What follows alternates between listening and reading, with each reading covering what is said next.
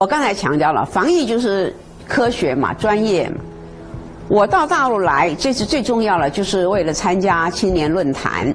那么，我相信专业。我刚才讲了，我们希望接种的都是经过国际认证的 WHO 经过国际认证的一个疫苗。这对这个很有信心呢。